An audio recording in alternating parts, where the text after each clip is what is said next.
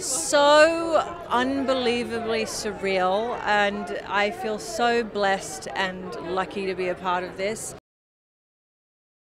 Well, I think the fact that the uh, the dinosaurs are out there in the world is uh, it's very different to what the other films have previously been.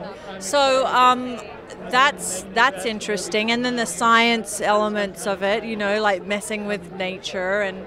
Um, which was obviously from the very beginning, but the fact that blue can procreate. I mean, there, there's just so many things happening in this movie. It's insane.